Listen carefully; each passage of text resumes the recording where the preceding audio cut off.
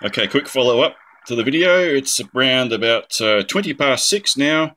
The power's back on, and so brings it the Urban RF Noise S7 on 40 meters when before there was absolutely nothing.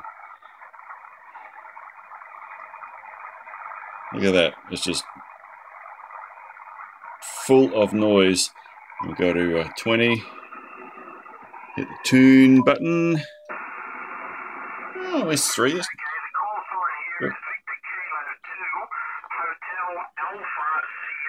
That's nice and strong. Portable. Wow.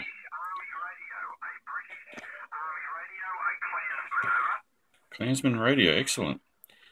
But yeah, well, 40 meters uh, is bad. 20 meters is not not too bad at all. Still, look at that. I could live with that. And but if we go back to uh, two meters,